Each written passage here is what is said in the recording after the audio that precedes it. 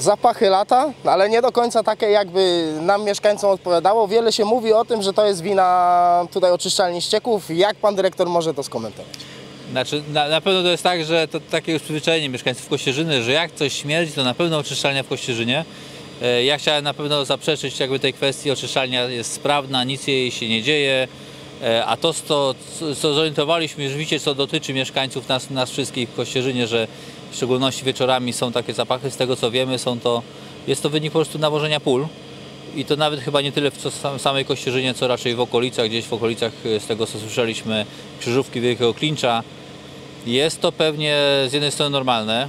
Kiedyś ci rolnicy te pola muszą nawozić gnojowicą.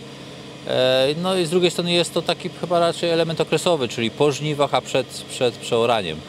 To, co na pewno chcielibyśmy powiedzieć, nie jest to e, skutek pracy oczyszczalni i nie do nas prosimy o e, jakieś zastrzeżenia. Takie telefony często odbieram, w szczególności wieczorami. Ludzie myślą, że to my. U nas wszystko w porządku. I ja też to czuję, że tu jest wszystko w porządku, więc bardzo dziękuję. Dziękuję bardzo.